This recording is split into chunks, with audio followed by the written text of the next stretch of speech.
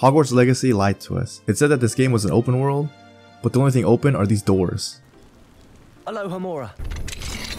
Okay, sorry. Like, you can fly over Hogwarts, forests, villages. You can even hover while watching a brawl. But